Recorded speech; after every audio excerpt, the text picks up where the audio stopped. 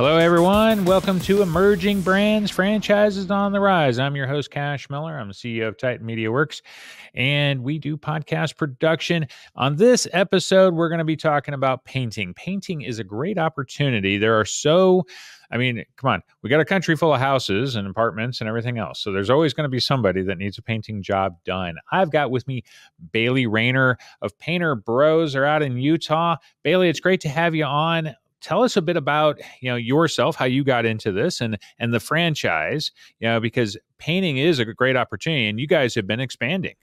Yeah absolutely. Um, okay so a little bit on on my background. Um, it, it's been kind of a, a, unique way that i got connected with painter bros. Um, prior to being here i was doing software development and got connected with them through their proprietary software um, I have a background in, um, I was managing a modeling agency all over the country. And so I have a little bit of that branding, branding um, background. And so when I was approached, I worked with Painter Bros for about six months on software development, um, doing an integration. And um, they saw that I had a little bit of the branding background. And so I did some, you know, branding photo shoots with them and they approached me about coming in and kind of just taking the, the business to the next level. And uh, my first thought, which is probably most everybody's first thought, is painting. Like, it's not sexy. it's definitely not. And so that was the biggest thing was like, how do we make painting sexy? How do we make it appealing? And so it's not painting, but it's business ownership. And I'm pretty sure making money is pretty sexy to most people. And um, so I sat down with the owner. We we talked about what he was, where he was going, the vision of Painter Bros. What do the next, you know, three to five years look like? Um, obviously, the software. I wanted to know what was happening with the software as it was growing and developing. And I was immediately like, I need to be a part of this. I'm going to lose out on an opportunity if I turn this down. And uh, switched companies and came over here because I I could see where they were going, and I did not want to lose out on that. So it was not anything about painting. That wasn't the appeal. Mm. It was where it was going and how it was going to grow. So with that, um, you know, Painter Bros has a very different concept than other painting franchises or even still just kind of the service-based franchises. Um, they did not franchise right away. Um, I know a lot of brands, they kind of come up with an idea and they say, this is great, and just start to build. Um, he actually took about 10, well, about eight years before he started to really franchise. Um, and so what he was doing was most painting companies, most service based companies are residential. Go yeah. after your residential customers, you stay in your territory, and that's how you grow and build. And, you know, that's that's kind of what it is. Mm-hmm. Um, now with painting, you either need to have a very unique concept or you're kind of just chasing jobs, going from one job to the next. You can make a lot of money. You can definitely make a lot of money in construction.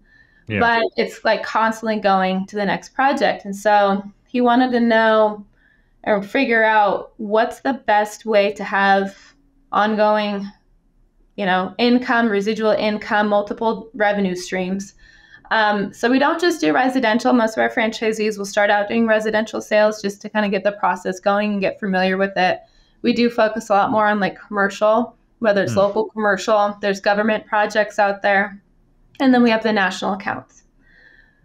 Our national accounts are very unique.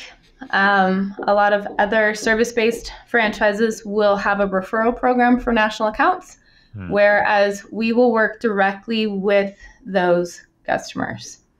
So. Huh. So you work directly. So those national accounts can be very large companies that have presences all over the country, yeah, and they need those painting services. So you work directly with them, which secures the relationship. But then when they have that need elsewhere, you're sending that business to the franchisee. Correct. We have coverage all over the country. So the best way to think about it is we franchised infrastructure. Hmm. We just specialize in painting. So, what's the best way to take care of a customer that's nationwide? You have coverage in every single state.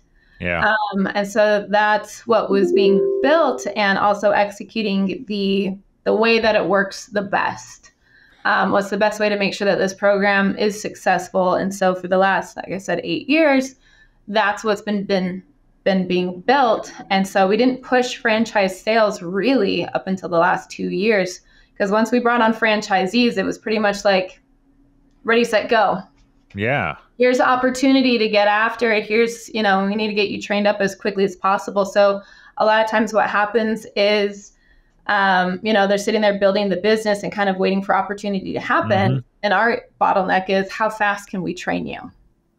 Yeah, that's well, it's obviously a great problem for you to have. yeah. But it's also it's an interesting thing because as an opportunity, the fact that you have those national accounts, that's going to be an advantage that a lot of other franchise, you know, painting franchises don't have, let alone independent, you know, businesses that just happen to be, you know, that are, you know, painting companies. Exactly. Um, you know, so you're able to plug them in as part of it. It doesn't mean they're going to get a job right away or anything like that, but you're going to have that, you know, you're part of that larger network. There's a huge opportunity and you i would assume are pursuing more of those kinds of accounts and it gives you an edge as you grow your footprint with more franchisees that because there's not a lot of like large national painting companies they're all fran- eh, what there is are franchises yeah so eh, which if they're still operating like you're a bunch of independent owners eh, mm-hmm. like i say that's a some a serious advantage you've got there yeah, no, it really it really has been because what we're, we're teaching franchisees to do is you have your territory, you have your location, right? You're going to continue to grow mm-hmm. your residential market. That's fast cash, right? That's yeah. money that will constantly come in. But now you're learning how to grow outside of your territory as well. What does okay? So from the residential and also the local commercial um, market standpoint, what does that look like for the franchisees? Uh, you know, we'll start with kind of the ground up, you know, view because when a, somebody gets into this business, what does it look like for them, and then what kind of support from a local business standpoint are you able to give the franchisee so that they get because they're not going to always have a national account job or something to do. They got to get local business. Yep. So, what kind of support do you guys provide to get there? Yeah. Um, you are correct. I always let my franchisees know look, you can't be guaranteed national accounts. Maybe you're not ready. Maybe you don't want one, and that's okay. It's not for everybody. And um, you still have to be able to grow this business on a local level. Uh, so most of our franchisees, I mean, the goal for year one's about a half a million in revenue. Um, I'm usually doing multi-territory deals. I just don't feel like a single territory does them justice. Um, I mean, you look into your major metros, and yeah. by putting in so many franchisees, like, sure, you're selling franchises, that's great, but are they revenuing what they could be revenuing? Are they profiting yeah. what they could be profiting? So, our biggest thing is you're bringing people onto your business to have a business so they can retire or just expand their portfolio. And one thing that you could probably do them a, a better service in is making sure that they actually make money. So I'm always doing multi-territory deals, so they have that opportunity for revenue growth. Um, so usually about half a million year one is the goal, building up to that million, million and a half plus after you know year two and three. Okay. Um, and so it really just depends on each franchisee. Um, what really what are their goals? So what I let everybody know is first off, tell me what you need. What do you need to make? What do you need to make to quit your other job to bring in money monthly? Like, what do you need? And then what do that, you want? I, I got it. Huh? well, I was going to say, I got to mention that. Like, I've talked to a lot of different franchisees. No one has brought that up. What do you need oh. to make? No one asked that. They've never mentioned it on a single show. you know, like, uh, yeah, no, I need to know. Like, what do you need to make? What do you need to live? Yeah. Because this is the whole point of the business. yeah, it's the most basic question. Yeah make money. And most people, they are looking to step out of a job or replace an income. So, what is that? Mm-hmm. So, I know how to get you there, right? Like, let's put together a game plan to get you to that point. So, that, that's one thing. What do you need? And then, what do you want? Right? Because what you want, that's also going to be on that projection. And so, um, I would say a lot of people will say, like, oh, yeah, I want like 3 million. And I'll say, okay, buckle up. Like, I'm going to show you how to do that and they go, okay, actually, like I'm, I'm pretty. Let's let's stick it to like one, one, two, one or two million. Yeah. Okay, you know. So part of that is, okay, there's revenue. That's great. That benefits me. I'm happy with revenue, right? Yeah. But franchisees need to be profitable. So that what do you need? That's a mm-hmm. big deal because now we pay attention to all of like their their metrics, right? We track all of their KPI metrics, conversion ratios, revenue coming in, marketing every single week. So we asked me about support. Every single week, our franchisees have training um, all together. And then also okay. every single week we have one-on-one calls. I mean, they're texting me constantly asking, mm-hmm. okay, what about this? What about this? Um, and so we're we're always making adjustments. You know, your business is going to shift different seasons, different markets. Right now we're kind of going into I don't know if recession is the right word to necessarily say, but it's going down, right? Yeah. We're going into this down market. So when all you focus on is residential right now, this is a scary time because it's a down market. Yeah. When you can focus on commercial, government, other projects, this is a great time. This has been one of the busiest years, busiest mm. like Q4s. Holy cow. I actually paused franchise sales for about two months in order to step aside and focus on revenue with my franchisees. Our mm. it was like all hands on deck. What can we do to make sure that you guys can execute these projects and see it through? So we we do what it takes for these guys because um, if they're not profitable, they're not going to be around for very long, and my revenue goes away, and that doesn't make any sense. Yeah.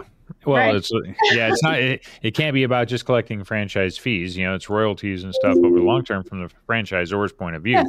But you also to get other franchisees, they need to see. You know, people don't sign up for systems that aren't working. And if they see you going down or franchises closing, then why do they want to be a part of that? So you got to make them successful. It's in everybody's best interest. Yeah, you know, it was really interesting. Uh, where you just mentioned it's not about franchise fees and revenue or you know royalties. Um, so many conferences I went to where I was listening to you know consultants and other folks saying it does need to be about the royalties. It needs to be about the royalties. But I can tell you, so many people don't focus on that part. They focus yeah. on the fee. And one of our biggest shifts was that's not our that's not our play is selling franchises and collecting fees. Um, I'm pretty particular about the franchisees that we bring on. Um, mm-hmm. you know, I'm looking for people that are either existing business owners, have done business management or project management. You know, they've worked with people, they can understand right. the systems um, you know, salespeople are great. And I think some folks are really, really great at this, like when they focus on sales, but most of our business owners, they're not the sales guy. And so my goal isn't to sell 100 franchises and collect franchise fees. My goal yeah. is to, sure, sell 100 franchises, but have 100 people be successful. Yeah, well, if if they're more successful and their sales are going up, your royalties are collected off of that. Right. So it, that's why it's a win-win. So if they're not selling as much as they should be or could be, um, then the royalty isn't going to be there, and that's the ongoing. That's you know, like I said, yep. it's, it's about a win for everybody, not just one side or the other. And I think that's the thing. You know, you need the franchisees to support getting that location open, paying people, and that are going to help train that new owner. But yep beyond that, you know, it's about the long term growth. And I say people want to buy into systems that are working for them. Uh-huh. so you want to see what everybody else is doing. Um, yep. Let's talk. Okay, so if I was a franchise uh, owner, brand new, yeah, okay. what would for one, what does the training look like? And then what does the initial staffing look like? Because I've seen anything that's in the like home services field, sometimes you're using subs or you're hiring directly. You know, I've talked to some, especially in like the, uh, I talked to one that was uh, in the garage flooring space. They do, you know, coatings and stuff. They're not a painting company, but they're like, hey, out the gate, we got to have you and we got to have like four people because we're going to get that first job booked and you need four people to actually do it. So, yeah. what does it look like from a staffing standpoint, too? Yeah, so when you get started, um, essentially from day one, I have a checklist that we go through. And so week by week, we're, we're making marks on what you need to do to get done, get your business started and going before you even come out for training. So all of your nitty gritty paperwork, licensing, whatever it might be, insurance, all gets done before training. Mm-hmm. Um, trainings here in Utah, it's three days, two in the classroom, one in the field. Um, I mean, you're you're working with learning from all of our uh, corporate folks, whether it's our national accounts team or our sales team. Um, the software company will come in to do training. Our partners will come and do trainings. Um, you know, we have um, national partnerships with like Sherwin Williams and PPG. They'll come in and teach them.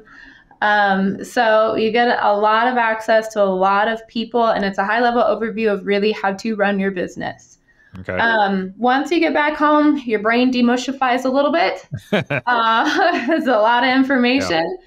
And um, then you, you get after it. You know, we're going to start turning on marketing and, and get going.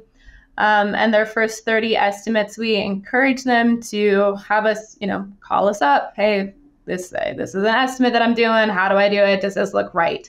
You know, kind of help coach them on that. So the software is proprietary software. Um, it's not Painter Bros. Painter Bros is a customer of the software company. Um, they have all these extra bells and whistles because it's Painter Bros. So why not? Um, but you know, the the software it's a desktop and a mobile app. We close about 30% of our jobs on the spot because we can show the customer estimates mm. before we even leave and can walk them through the whole sales process, collecting payments and everything. So it's That's very great. streamlined um, and it's very easy for our customers. Um, and so, anyways, that's part of that initial uh, training and, and kind of what to expect from our franchisees. Um, I would say there's a lot of hand holding the first year.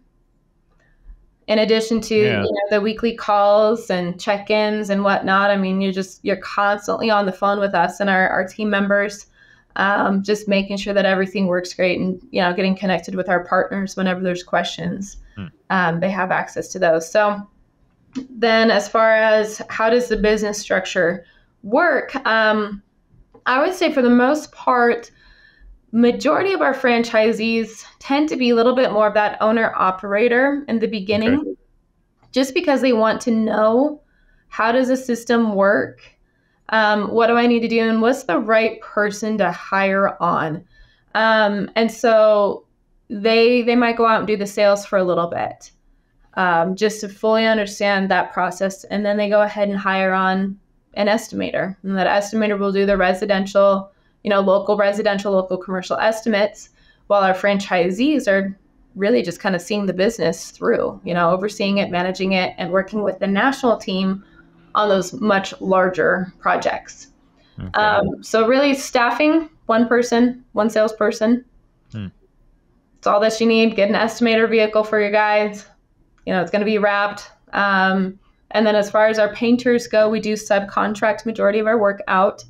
Okay. Um, and but we're not buying vans and vehicles and sprayers and paint yeah. and all these other things. Like save your money where you need to. That's not an area that you need to be spending money on. Um, you know, get your guys.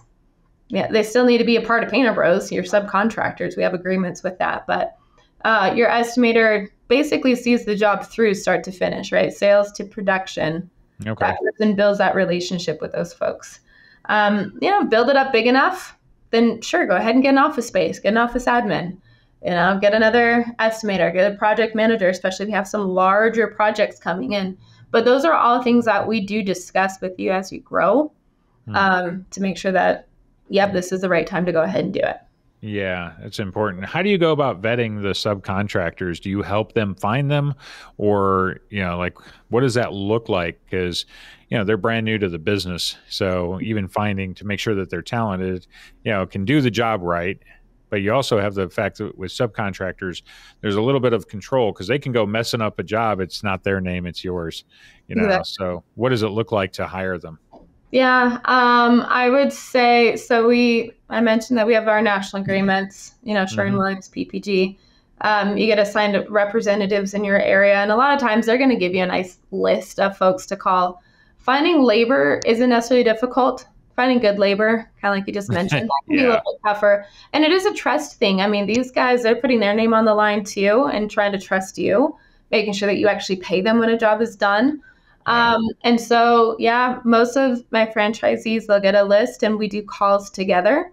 Um, I get on the calls with them with their subs. I set out the expectations. I explain, you know, the payment process. Um, how do they get paid? I explain the app and the system because they have to use it as well. Um, and I just kind of run through it and say, okay, how does this sound? Um, I would say of the franchisees that have me assist on those initial calls, their subs do great. You know, they're yeah. they're the ones showing up and not complaining about things. Um, if they don't have me make those initial calls, I'd say there's a little bit more of a struggle. Um, but it's it's just finding the right way, and, and you know that will get you started. Yeah. Uh, subs will always call in, ask for more work, um, and there's just different ways that you can go out and find more contractors. Um, you know, I own uh, Painter Bros of Boise. I'm from Boise, so Okay. I bought up Boise. I've got a couple business partners. They're the boots on the ground. Mm. And um, I tell you, like a couple of our subs, they love working with me.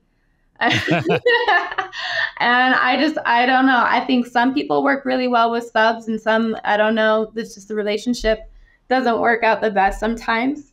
Um, and so that's why I always let you know our franchisees know like your estimator needs to be able to work with these guys and be able to manage them and build that relationship with them. Yeah.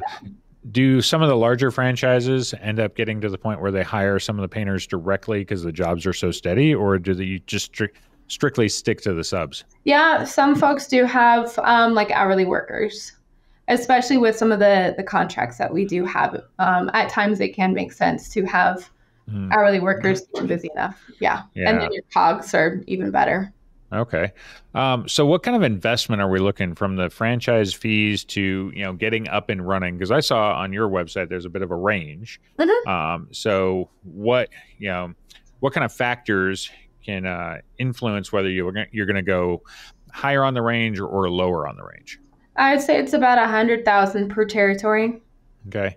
um, and a lot of that is going to, you know, that does include your uh, franchise fee, marketing, right? Getting just kind of kicking off and going. Mhm. Um, our data first dollar is pretty darn quick. Um, most of our franchisees don't even get the chance to officially open before I call them and say, "Hey, got a national project for you. You want to go bid it out?" And they're like, "Uh, okay." So, um, we're like, ready, set, go, uh, which is really great though for them.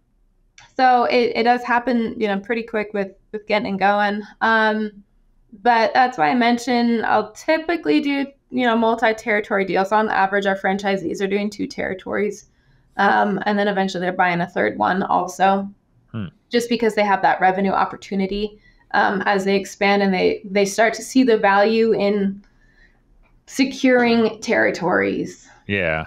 not having anybody else move in. Right. Yeah. That larger footprint. Mhm. Um, is there a specific number on the franchise fee, and also what's the royalty percentage look like? Um, so franchise fee on a single sixty-five thousand, two's one hundred and twelve, and three's one hundred and fifty-five. Okay. Um, and so the the other amounts you're you're operating. I put a little bit of a cushion in there. I know initial investments typically your first three months. That seems insane to me. So my my cushion's a little bit bigger also because Mhm. we have a lot more larger opportunities that come up pretty quickly. Um, I look at that as like here's some money to set aside, you know, if you need a float cash or whatever. it might be. Gotcha. Yeah.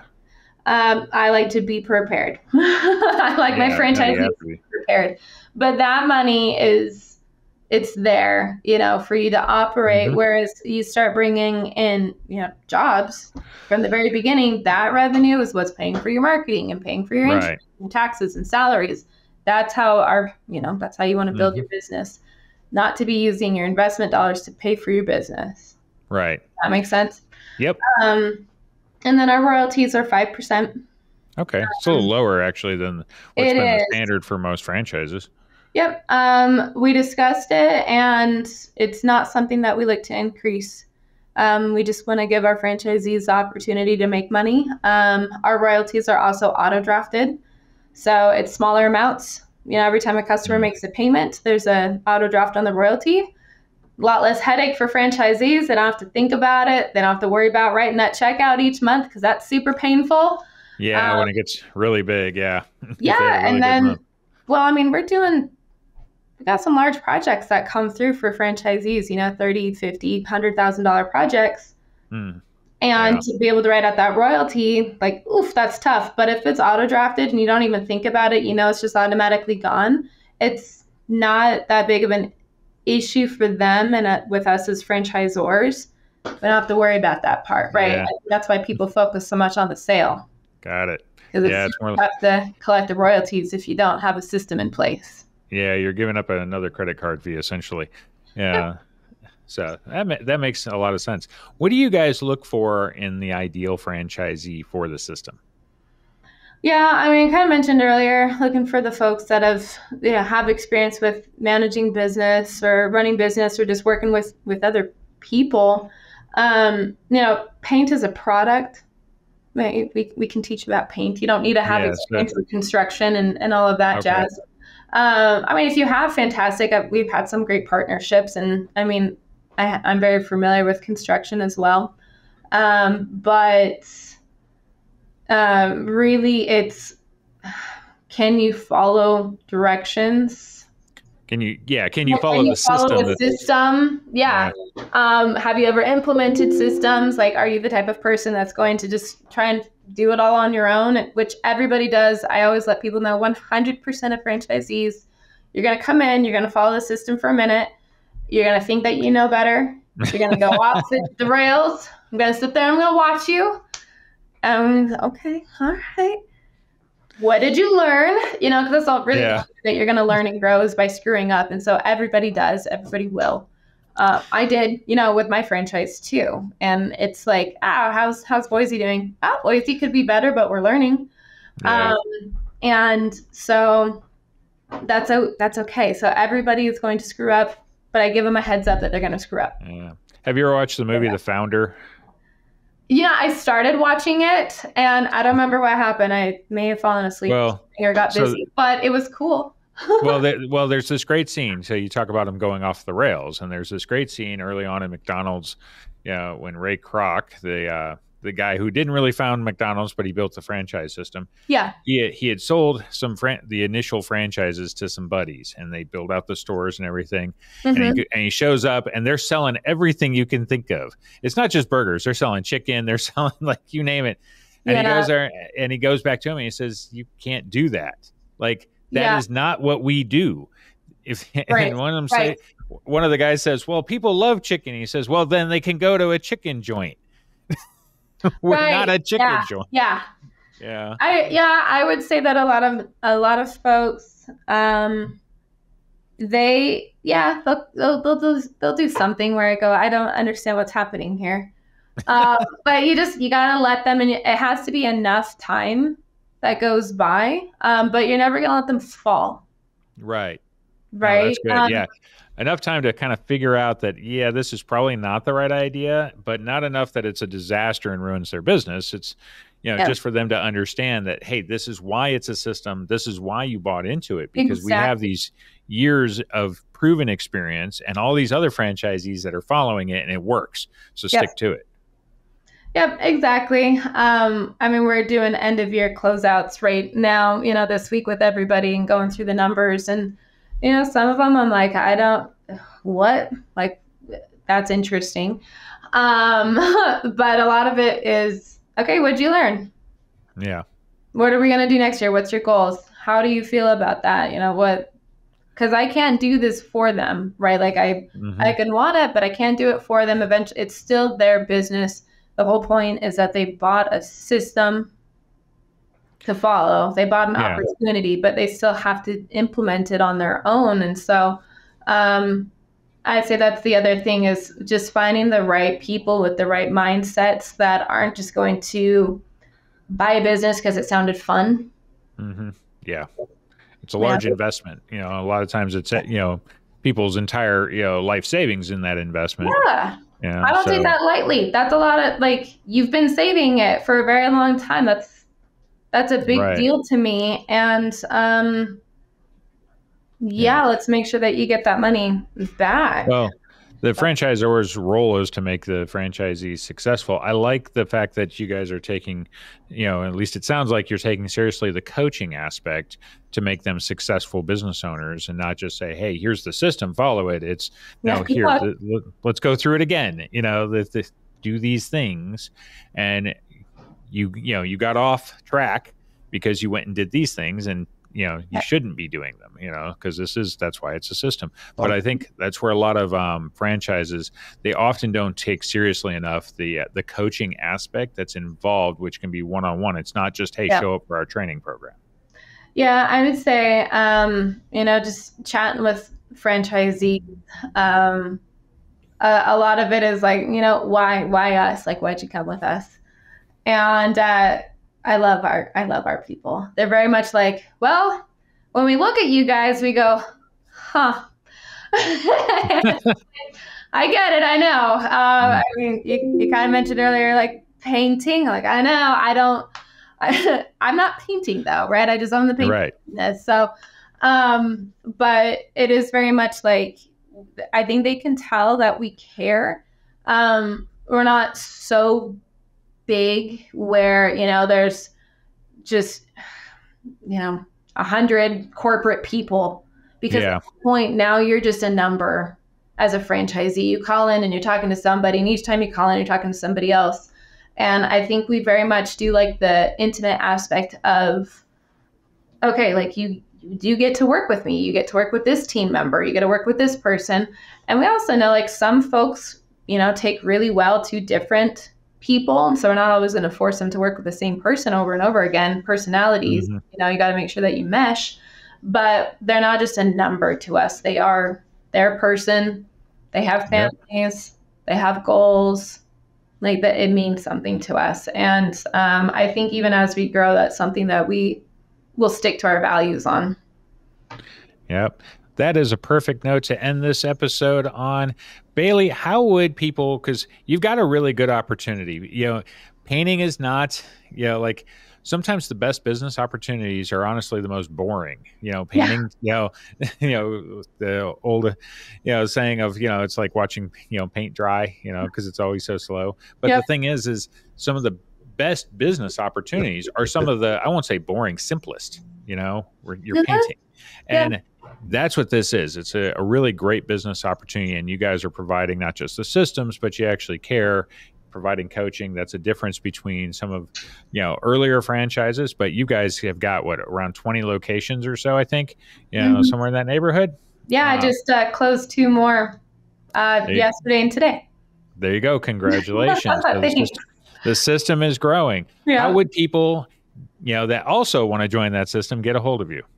Um, yeah, so they're going to reach out to me. Um, email is that probably yep. okay? So e- uh, email uh, website linkedin yeah know. so you go to um, painterbros.com slash franchising fill out a form there it'll go to me. You can find me on linkedin. Uh, you can call me. Uh, you can email me. So it's just b rayner at painterbros.com you know i'm pretty easy to find. If you google me I'll, i'm there Okay. Well, it's been great having you on, Bailey. If you're looking for a franchise that is a stable opportunity, painting is a great way to go.